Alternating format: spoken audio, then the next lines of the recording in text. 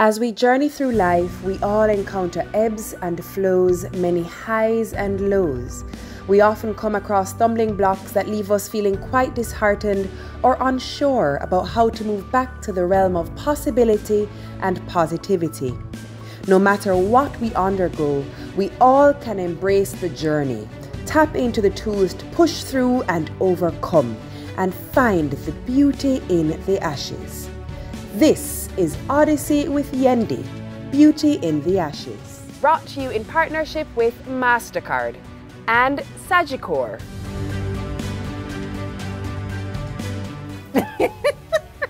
Listen, I don't know which one of us is more excited. I think it might be me. No, it's me. No, no. Actually, yeah, no. Okay. Juliet. By the way, does the world know your name is Juliet? Um, I think most people know me as Julie Mango. Yeah. Mm-hmm. So should we just call you Mangizi? Mangizi is perfect. Yeah? You No? Julizzle? Just like Yendizzle. Uh, you see what I did there. How are you?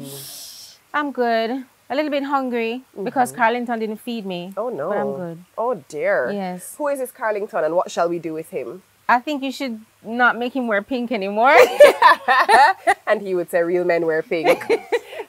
um, let us talk about before we get to the Julie Mango persona, let us actually meet Juliet. Who is Juliet? What makes her tick? What is she like? hmm. Juliet is probably an introvert and somebody who likes alone time. And uh, Juliet is that serious person because Juliet is the one that was in the JDF, right? I sound like a schizo, don't it? And Juliet is the one that was in cadets in high school. And Juliet is the one that became the engineer. And Juliet is the one that, uh, hmm, the more serious one, the bossy one, the loud one, the tomboy one. I think that's the Juliet. Yeah. You know, it doesn't sound schizo to me. And I believe you. I believe you because I find that people who often have good comedic skills are usually polar opposites in real life. Yeah, I've often found that. Um, walk me through that a bit. Walk me through cadets, walk me through JDF. How did you end up there? Why are you no longer there? So like I was so when my parents got divorced when I was 12 years old, I moved to Manchester with mommy. And you know the whole mommy daughter syndrome where you know you need a male presence in the house and whatever and she was like you need to be in cadets. Yes, the cadets is good for you. And this was her finger. She's like you need to be in cadets and I was like I don't want to be no uniform people and look weird when I'm going to school and dressing up in green and all sorts of something and doing all sorts of boy stuff. And she's like, do it. You're doing it? I'm like, okay, fine. Jeez. so I was in a, I was in cadets for like uh, I, when I went to first form in Manchester High School. I was in cadets, and then from that day, that was in 1993. From that day till now, I'm still a cadet. I'm dormant now because I'm a cadet officer. And of course, I'm away, but I'm still a cadet. So in terms of the JDF, how did I end up there? I mean, I was working at um Alcoa before, and I think it was coming to a point where they may be laying off people, and I decided that I'm nobody gonna lay me off. That's right. because I'll I'm take my leave. in- Yeah, so I resigned and then I joined the JDF, and I was in the JDF for like three years. Worst time ever, I drove. Really? It was. No, but let's walk through that, please. Like, let's unpack that a bit. What- what made it such a bad experience for you? Well, all right. So during that time, like I was in, I was 20, was I, I was 27, 28 when I joined the JDF, right? And then if you have, if you're not mentally strong, or especially as a, as a woman, if you're not fully developed or if you don't love yourself, when you go mm. in the JDF, they're going to rip you apart. Yeah. And I don't mean like in training, I mean like just in the culture. So for me, I wasn't mentally healthy when I joined the JDF. I was still suicidal at that point, and I still had, because my official diagnosis is borderline personality disorder. And uh, when I went in the JDF now, um, I had bosses who were very critical and saying, Why am I here? Why are you here? And then the worst part of it now, as a woman, people will always spread rumors about you. It was actually in the JDF, while I was in the JDF, where I did my first suicide attempt. Really? Uh, yes. So it was very, very pressuring, not cut out for me at all, at all, at all, at all. Mm-mm. You you mentioned a few things there that were very heavy. Um, first, that's not so heavy, but critically important was if you don't love yourself, knowing how to love yourself. When did it dawn on you that you didn't love yourself? You know what? I feel like I only knew that like in my 30s, like when I was like 30, 31, thereabout, because I'm 40 now.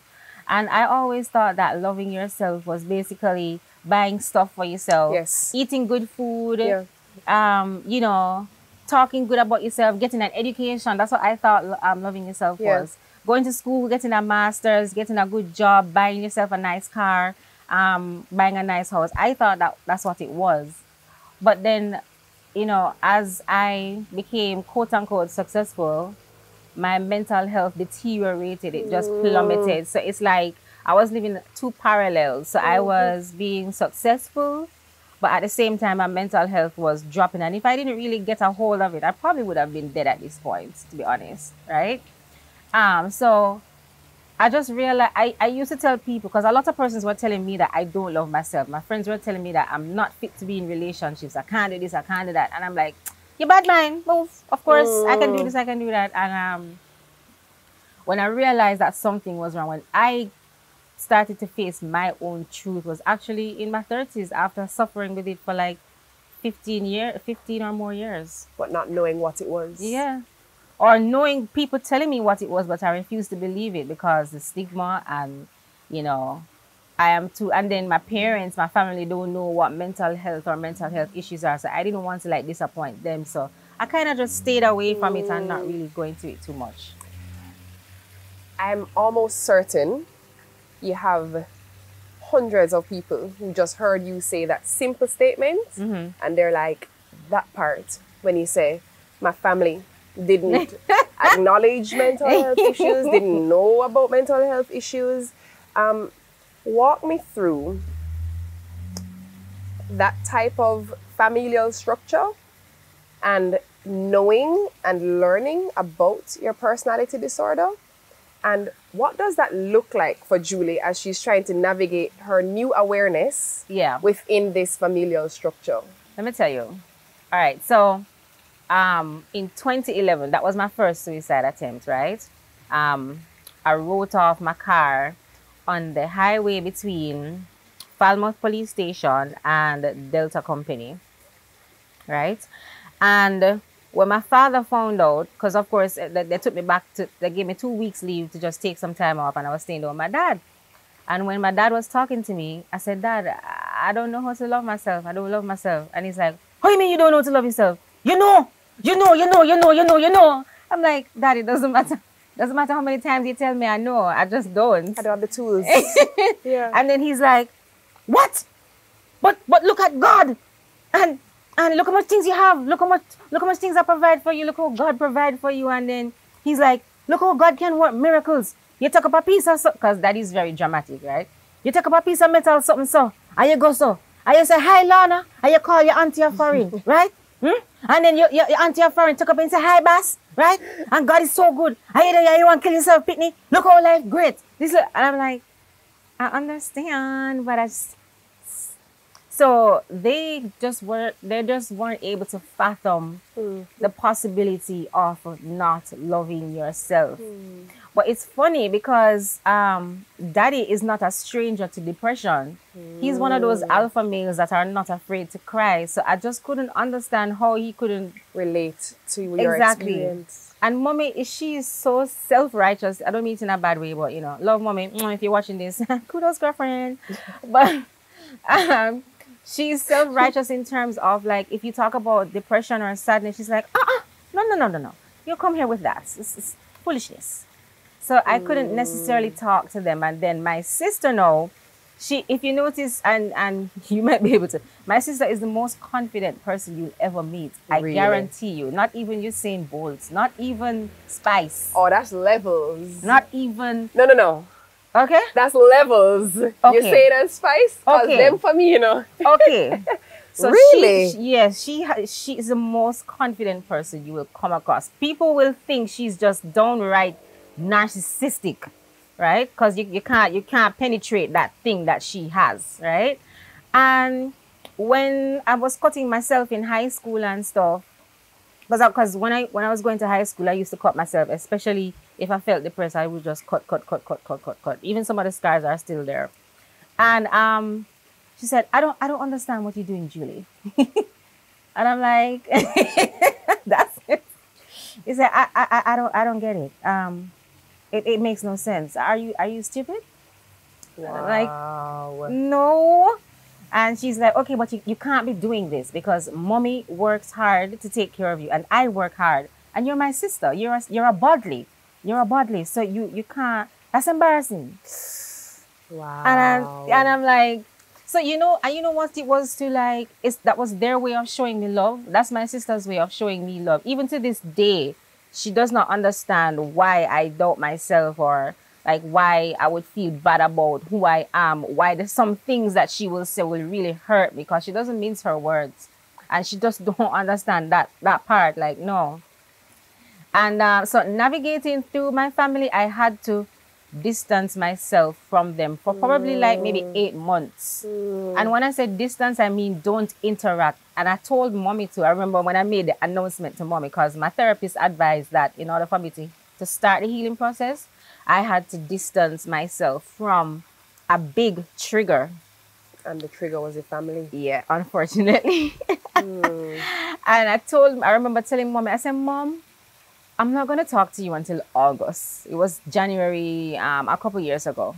And she's like, Oh, your therapist tell you not to talk to me. You're not a therapist, you know. And she, she had an issue with it Ouch. but I had to. And then when when I when I was disengaged from them, I started to figure out who Juliet is. What why does Juliet feel so much pain? What are her depression triggers? Who does she want to be? What are her strengths? What are her weaknesses? I was only during that time where I was able to know myself. And it's only when I know myself then I can actually deal with my family, know my triggers, um, know when to steer clear of them, know if I can go to certain family gatherings because they, they really don't understand. And sometimes I'm not necessarily like a, the black sheep or anything like that, but I am the only one who is open about my mental health struggles because the part. others they mm. have mental health issues as well. It's and the open part. yes, but they're not open about Yeah. it, and I see it, and I don't. Yeah. I just yeah. What do you think was the thing that made you start to cut? You know what? So when I, you know, you know what? It was curiosity. Really? Yeah, because at age of eight, that was the first time I remember it clearly, clearly, clearly. I took a bottle stopper and I scratched myself on my thumb. And I don't know why there were, I got so much gratification out of seeing the little teeny bit of blood. Because you know, when you only scratch your skin, just a little bit of blood comes out. I got some weird gratification out of it.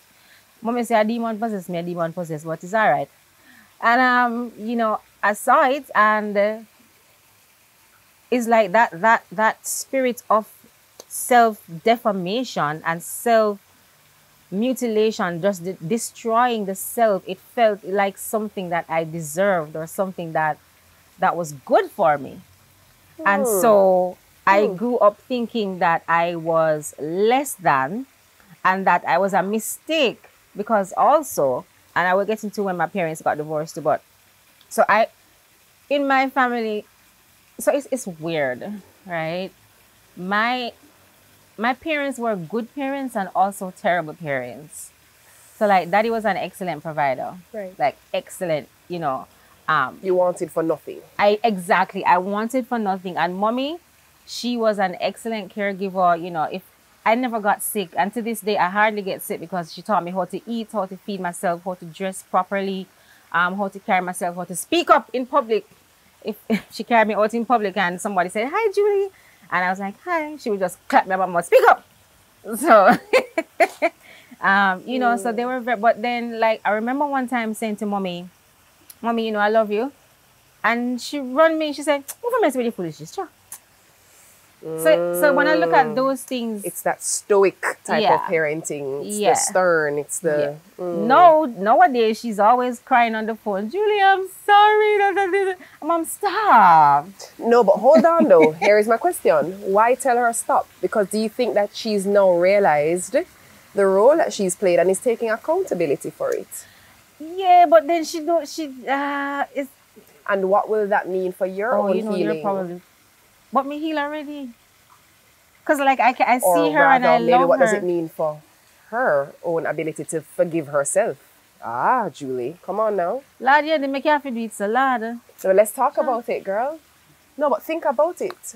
She's literally saying, "Oh my gosh, I I see the role I've played here." But you to go through that with her though, judge. Uh, But you said that's her job, not yours. no, I mean, well, it is, but I wouldn't really put it like that because it's my mom and she loves me. Understand? And family is family. Um, but I guess it would mean. But the thing is, when she does it, I don't see the progress. I don't know if she's doing it in order to heal or just in order to cry.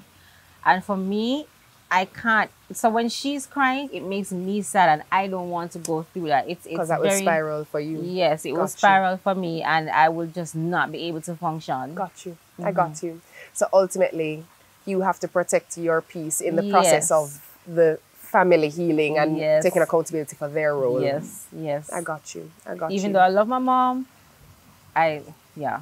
When I talk to daddy about these things, it's a little bit different though. He's more cheerful, and he's like, like if I would tell him that you know, because to be honest with you, he played no part in me feeling bad, bad about myself. Like he was, I don't know, he was just weird. But they fought in the home, right? And I think that that had a lot to do with my depression. And I know that they were always telling me stories about how their childhood was hard and mommy, mommy had to go to school with one shoes and is all of them did wear the same shoes. And when she get the shoes it did wear on and so it was a lot of depressing um generational stories or ancestral stories I should say. And I just is I really when I think about it I really don't know how my depression just came out of nowhere. But I know when it came on me. And it started when I was eight. And that's a really such a delicate and young age, but Mm-hmm. also it's the ability that you have that awareness Yeah. around it. What did it feel like at eight years old? Do you remember what you is it that you just always felt sad? So it, it it it felt like I didn't like how I looked. It was so simple. There was this Ah. girl at my school. Her name is Yannick McLaren. We're still friends to this day, but she her her heel back, Not the heel back.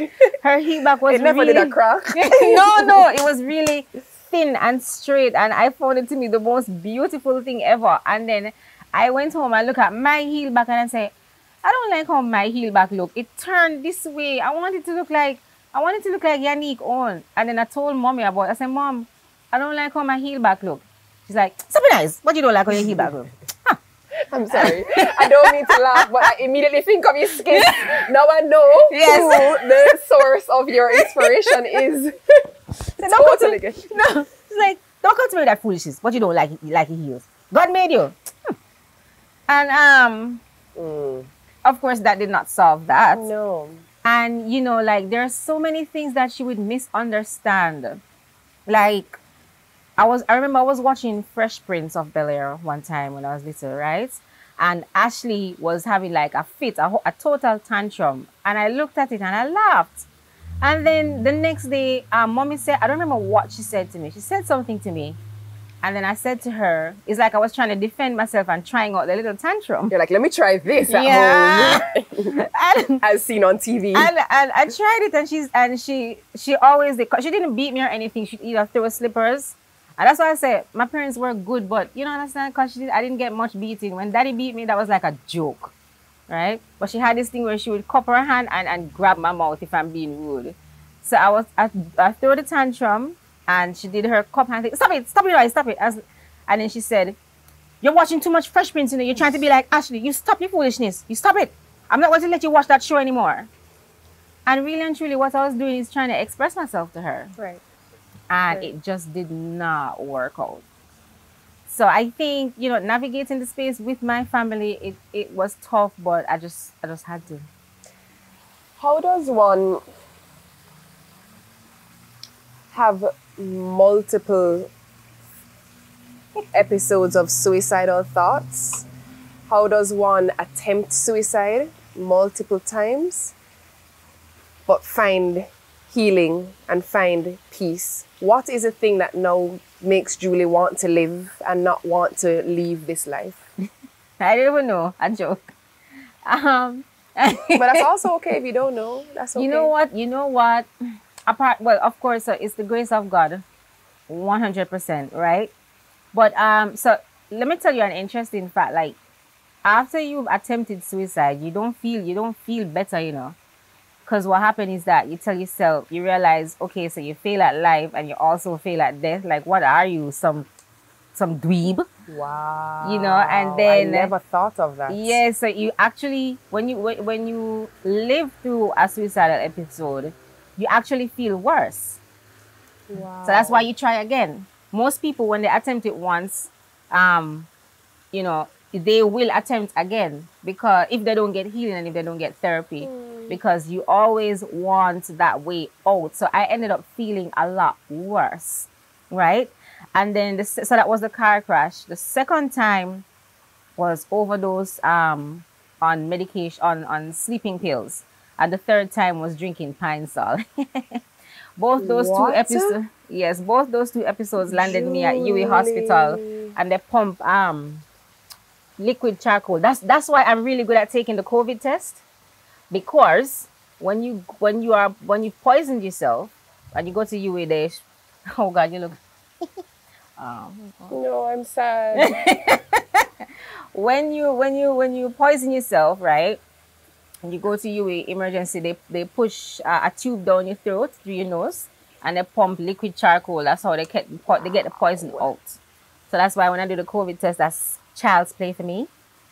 I just wanted to add that in there because everyone is you got that right because everyone is afraid of the COVID test. You, okay, yeah, and so um. wow. So and, and after after those two episodes, I ended up in Ward Twenty One because when you poison yourself, they're going to co- um, co- um admit you to Ward Twenty One. You know, it's how casually you say it for me. I just can't get over how casual. Like That's what therapy and healing does to you. I'm no, telling you. but let's slow right down right there. Walk me through Ward 21. Walk me through being told You know- you need to go into a psychiatric ward. You need psychiatric evaluation. You need medic. Like, what is that like? Do you know Dr. Danielle? I forget her last name. The, the person who actually put me in Ward 21 the first time was she goes to TLC. She did, we didn't know each other at the time, and I always remind her, and she's like, "Oh my gosh, don't do that." But so what happened is, um, when they when they put the, the, the pump the charcoal down and they revived me and stuff and got me because I was passed out on both occasions, right? And how I was found, that's another story. But um, she Well, asked how me. were you found? So when I had the um the overdose of the sleeping pills, my door was open and my landlord was walking by. This was Great House Boulevard, right, right beside the Mona Dam. My landlord was walking by, saw me on the floor, um, lift me up, put me in his car, drove me to the hospital. Wow. Yes. So um, when she revived me, no, the doctor revived me. She asked me if I'm hearing voices. So I said yes. And she's like, okay, we're gonna have to admit you. But then I realized she meant if I'm hearing voices in my head, but it's actually her voice I was hearing because she asked me if I was hearing voices. And so um, when I realized no, I was going to Ward 21, I was devastated because I was still in the JDF and I was embarrassed. And I know the song is which is still okay sing about Ward 21 or there was a, a group that named Ward Ward, 21. there was a group Ward 21. Yes, I mean, I said, but at this me come to like because the stigma, the stigma associated with me, and that's why I didn't seek help, and that's why I wasn't really, you know, willing to face it. But the stigma associated with mental health is even worse than the mental health issues itself, right? A. So I'm saying it in my mind now. At this, me really come to big, big engineer, big, big JDF, strapped in, successful 28 year old. I me look good cause them time there, my belly was flat. um, big, big engineer. I mean, I said, you look still good. look good, girl. Thank you, You look God. good. Yeah, you me- smell good. Yeah, yeah, me smell clean. No, true, Yeah, me smell no, you clean, smell nice, actually, Yeah, no, no, for real. No, I'm coming. Yeah, me thing. Come, me come out and pub- and plus people know me now. So like, if them ask me for picture, I'm go so. Me can't for them say, yo, Julie, man, go um, twinky, twinky, twinky, twinky, twinky. Can't do that. Anyways, back to the subject at hand. Orm. Yes.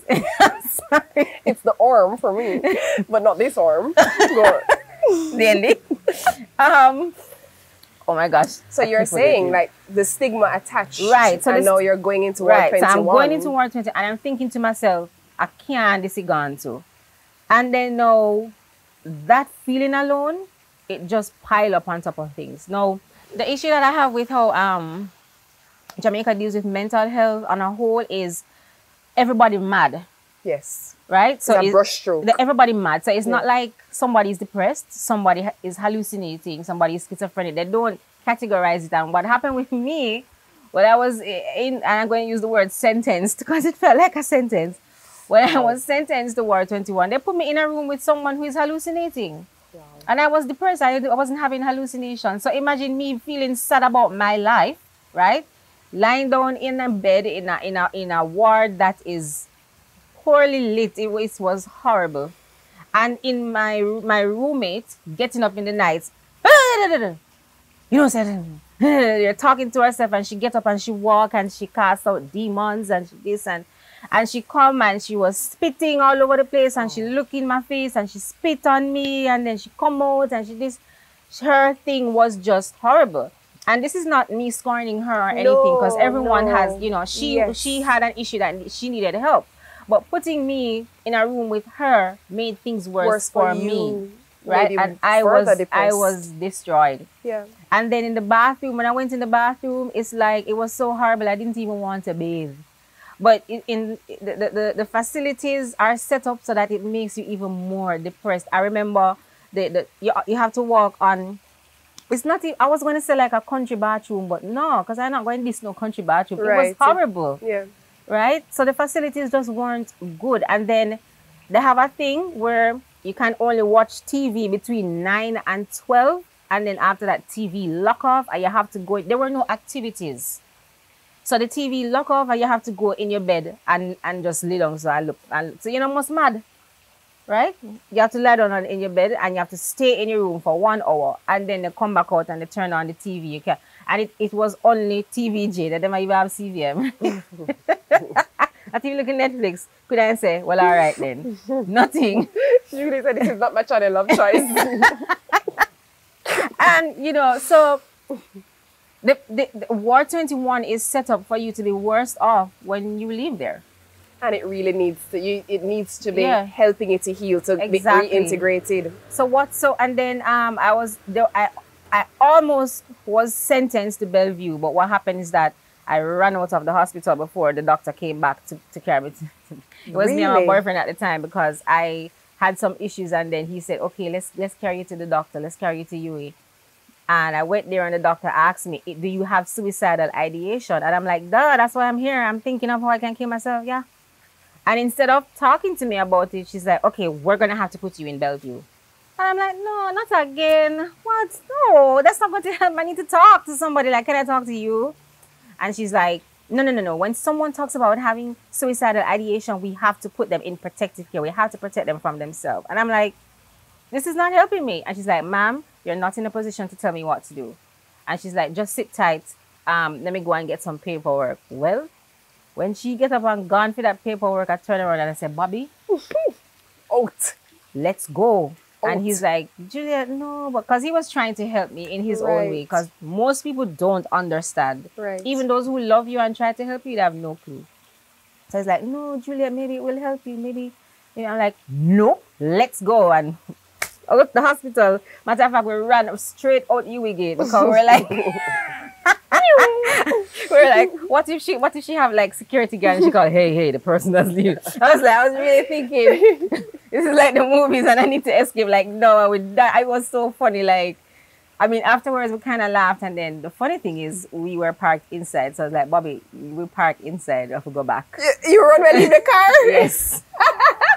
I'm sorry. So we say, all right, let's wait a little bit. Let's wait a little bit. Maybe to blow off until she just get her next patient, and then we'll wait probably like about twenty minutes on, on the other side of UE, um, UE Hospital gate, just just chilling, and um, we went back inside for the car, and that was it. So what happens that brings you to the point of no, I actually I do love myself. I do love who I see. I do love my life Mm-hmm. and I don't want to leave this world. What brings you to that point? So, therapy. Yeah. But let me tell you, the therapist that I have now is the same one that I've had even when my health, my mental health was plummeting, you know what changed? I wasn't in Jamaica. So my The heal- environment. yeah, my healing hasn't even it's, it's been very recent. I left Jamaica in 2018. And in 2018 I was still I was still putting um gun to my head and sending pictures to people saying I want to kill myself. I took a, a selfie with a gun inside my mouth and I sent it to um, a couple of friends and said, I don't like it here in the US. I want to kill myself. I don't like like I was I was still going through it. I won't even lie. And um so when when when when my therapist know, you know, because one of the things with mental health is that you don't think you need therapy, right? So there there would be times when I would just not call my therapist, and she would call me, and I would just not answer because I think she's stupid.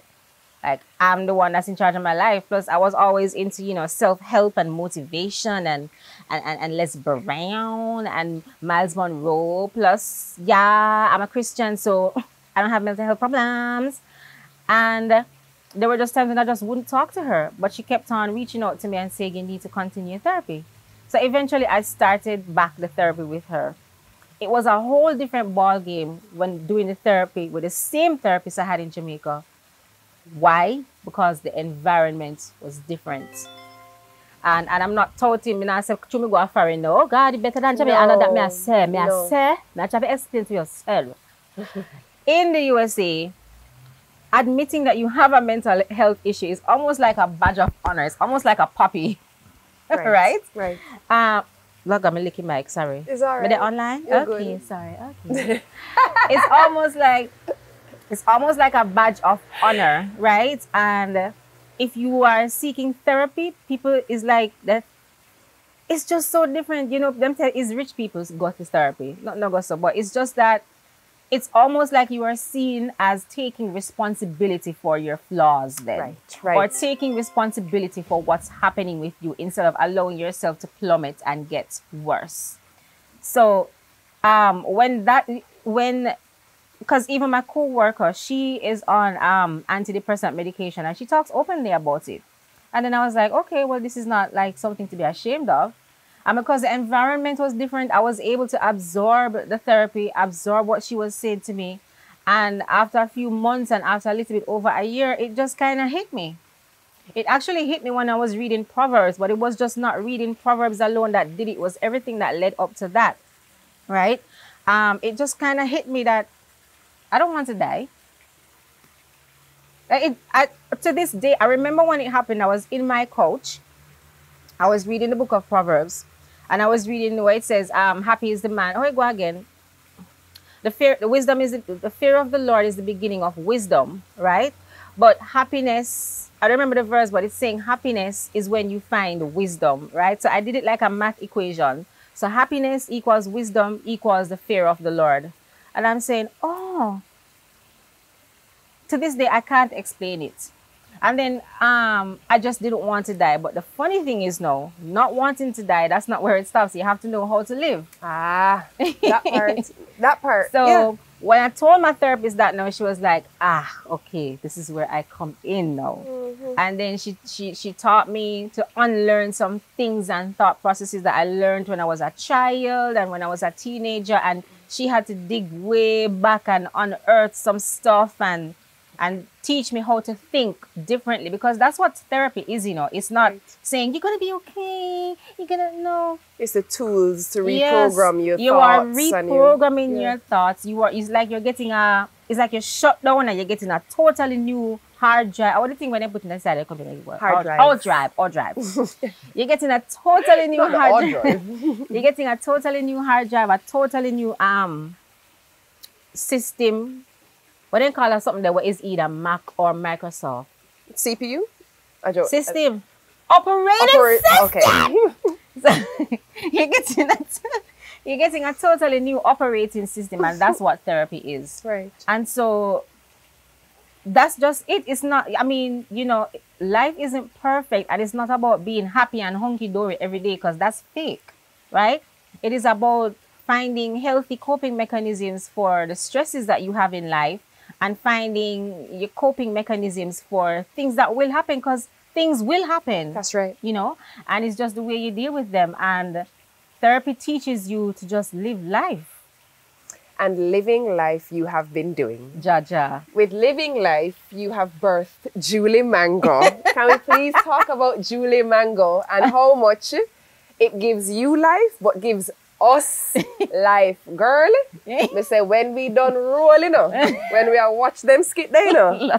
hey, how did Julie Mango come to be? So the, the name Julie Mango, actually my dad gave me that when I was little. You see, this is why I tell you, my parents were good parents, uh, you know, because Yeah. it's so much fun I had with them, especially with daddy, right? Um, so there was this mango tree in the front of the yard that was a Julie mango tree. And I used to be always at that tree picking Julie mangoes, eating them. And then daddy being the troublemaker that he is, just started to call me Julie Mango, right? So the name stuck from that time. And then, so the, the whole animated way that I speak and the joke giving and the this and the that comes from my dad and my uncle Tarbod. Because my uncle Not Tarbod. I'm sorry, what now? As in tall bud? Tarbod, that's his pet, that's his nickname. It could only be. Come on. Tall bud. Tarbod, T A U B U D. We, we also had a spelling for it. Where yes. that come from? okay, the story that I heard, right? Because I asked him how he got the name Tarbod. He don't know. So I asked grandma, which is his mom. And grandma said, oh, because he went kill one bird and he freeze the bird and then he tell about the bird. me know, man. Me say me know. because in Jamaica, your nickname have to do with something. We got some sort of way. So from that, know, so from that, uh, uh, she said from that, then call him Tarbod. and sometimes when them talk, quite country people, when you pronounce the word, the, a word that end with D, it, they pronounce it T. So sometimes they Tarbot. Mhm. Right. So your daddy and Talbot So my, so my daddy and Uncle Tarbot, Uncle Tarbot always used to come over and look for daddy, and they would be on the veranda chatting, laughing, chatting people, and the whole animated storytelling. And and grandma is like that too. Grandpa was like that because my two grandfathers are passed, and I just get it from them, you know. You are so good at it. Okay, let's talk about um, a couple of skits. The school shoes one for me, mash down. The science teacher, no, the RE teacher, no, no, no, the maths teacher, the shoes there, proper, proper, proper. Let me tell you what else smashed me down. Greetings from across the world. It's Devon. See Devon here? How much of an outlet has that been for you? How much joy has that brought you? No, to be honest, you know, that's not really, I wouldn't call it an outlet. And I think persons don't really understand. It, it's just me being me. Yeah. You know, the, the outlet part of it. So comedy is a dist- how do I explain it now? Comedy is not a part of healing. Like if anyone is having an, a, a, a mental health issue, comedy can't heal you. Comedy can only humor you if you're already okay. So it's not really an outlet for me. It's just me being me, like actually living in my truth and living in my purpose. Because I was always, I always had this personality. Right. In high school, I was always cracking people up. I didn't know what it was. Right. I was known as the class clown. I didn't mind it. I didn't care. It's it's fine. Yeah. Um. So this is just me being me without the burden of a mental health problem. Right. Right. Yeah. I have one question that I think everyone wants to ask, myself included. Why is it that you have lipstick on both lips today? because Julie wears lipstick on both lips, but but my first form teacher at Manchester High, she always used to have the shine lipstick on just one lip, and she was the hottest thing. And she used to wear exclamation perfume. And oh my gosh, I remember that perfume. Yeah, yeah, yeah. Yeah. yeah. And we say every time she have on the bottom lip lipstick alone in the video, you know, me mash right down, you know, before she even talk. It's a thing. It was a style. It, It was, a style. Yes, man. It was It's hot so was a- thing. Me say, and that's how you know the original hot girl them, you know. Where do you see yourself going with the Julie Mango persona? Well, to be honest with you, um, you know that. Well, I don't think you know, but I recently regi- regined. I regined. As in I you re- rejoined, yes? Nope, not even that. I don't know. So anyhow, we recover from that.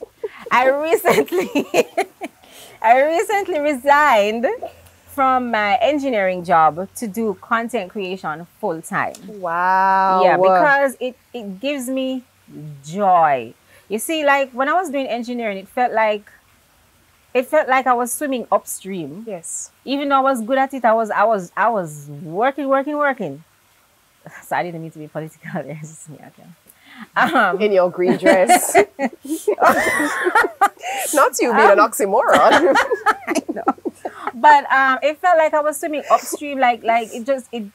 I had to. It just didn't feel like it was me. And for Yeah. years, and I think it had to do with a part of my mental health breakdown too. Because for years, I just felt like a misfit, like I wasn't doing what I really wanted to do. And then with this, um, with what the, the success of the TikTok videos and everything, um, I prayed about it because you know, um, and I spoke to my therapist about it, and I was like.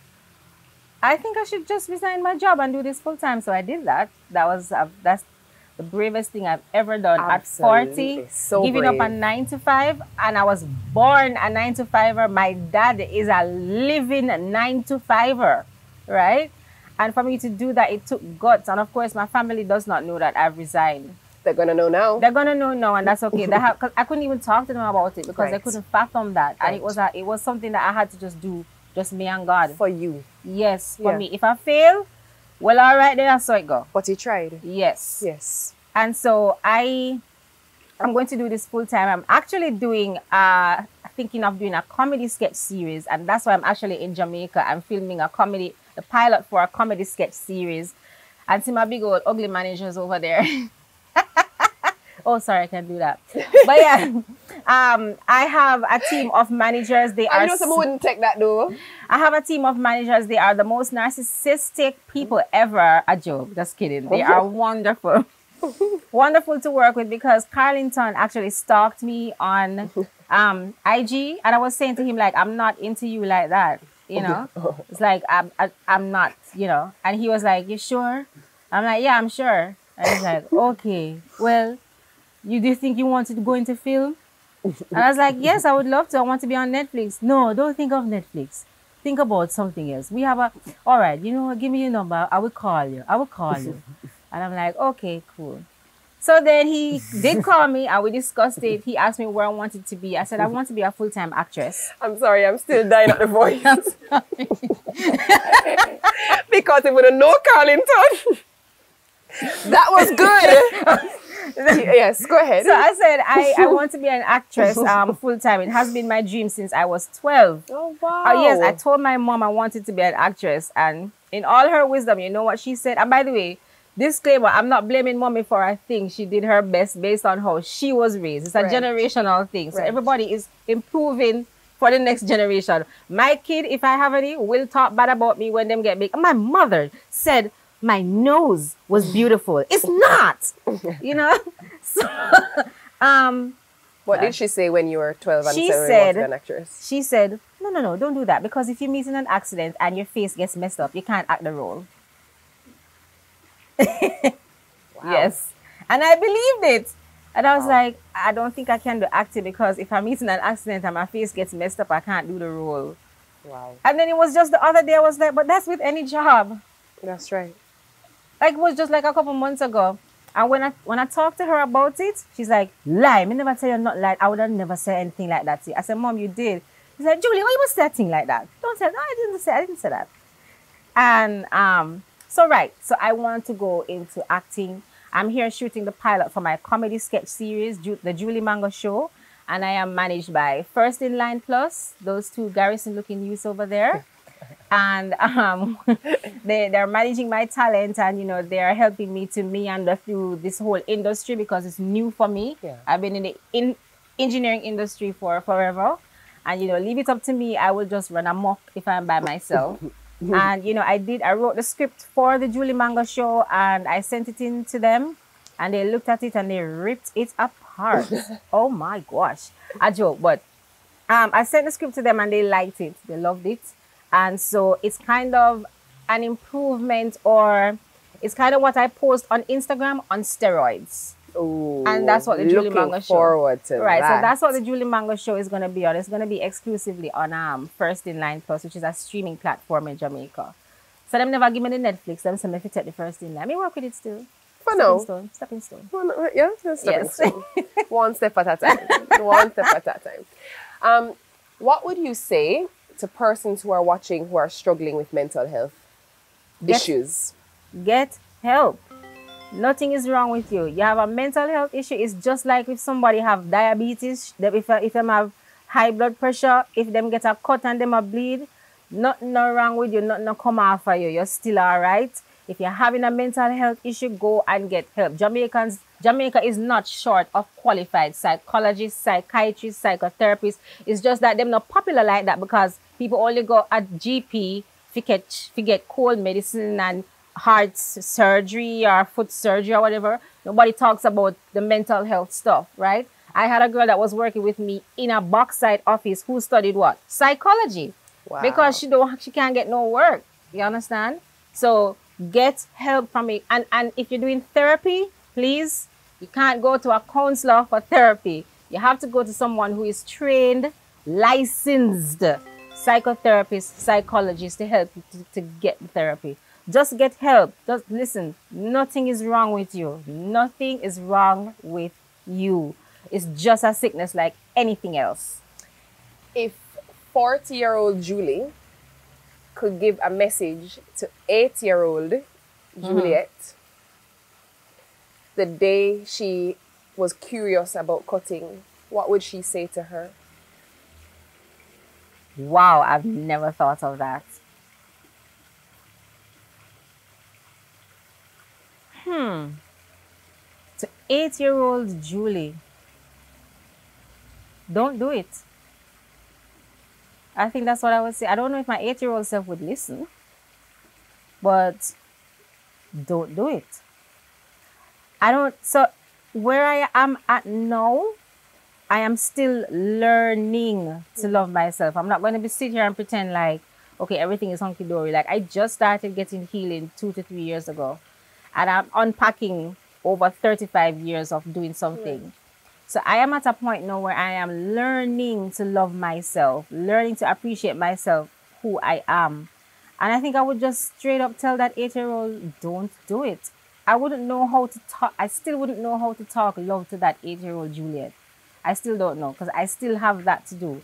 Because what has happened, you know, is that um, uh, my between me and my therapist, we basically draw the brakes on me wanting to die, and I'm still learning how to live. Right, right. So you know, it, it's I'm not in what is happening. I'm not in crisis mode anymore, and Right. it feels great. I'm not in crisis mode anymore. I'm not like, oh my god, I want to kill. I want to. I'm not. I'm just. I'm just here, Right. And I want. I want to see what life has to offer. I want to see what God is doing, and I want. If challenges come, um, I want to see what coping mechanisms I can use. So I am actually still learning to live, and that's why I always tell people, you are healing. You're never healed as long as you're alive. That's right. Right? That's right. Because so you heal from something else, something else will come up even bigger that you And a have to. trigger. Yeah. What does a 40 year old Julie Mm-hmm. say to a 40 year old Julie to affirm herself? What does she look in the mirror and say to herself each morning in affirming herself? You look good. You look good. You're all right. That's when I'm joking around, but when I'm serious, I have to remind myself that I am enough. I have to remind myself because it's easy to slip back. Here is the MasterCard priceless moment. There's a verse that says when you cast out demons and you leave the space empty, the demons will come seven times stronger. Right? So now that I have taken out that that that that that tendency to suicide and stuff, I have to fill it with positive things or just fill it with things that are good. So I have to remind myself that I am enough. I have to remind myself that comparing myself to somebody is a form of idolatry. Right? Yes, I have to remind myself that comparison is a form of idolatry. So, so don't do it. Um, I have to remind myself that my triggers are, it's okay to avoid your triggers because you're taking care of yourself. I have to remind myself that it is okay to prioritize. I have to remind myself to not, it is okay to not get into certain conversations with my family that I don't like. I have to remind myself that it's okay to not gossip with people who I usually gossip with before, just so that I could get their approval that I'm a nice person, being a good friend to them. Right? I have to remind myself that it's okay if someone does not like the fact that I told them, no, I can't do such and such. I have to be okay with people not being okay with me. So, you know, all of those things I tell myself in the morning throughout the day, it's a process. You see, like how you shower every day, you eat every day. This healing thing is something that you have to do every day, and you will eventually graduate, graduate until it becomes easier, until it becomes a habit, it becomes a part of you. And that's really what healing is. Just smile, I get the Yendi smile. Good for you. Yep. Juliet, good for you. I am very happy for you. Thank you. I mean, I love the joy and laughter that you bring me. But beyond that, I'm happy for Juliet Bodley. Yep. I'm really happy for you.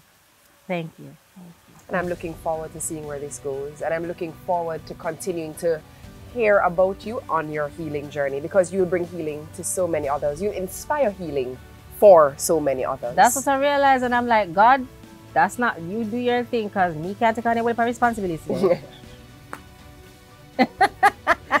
well, you carry it well. Good for you, girl. Thank you. Nicely done. Brought to you by MasterCard and Sagicor.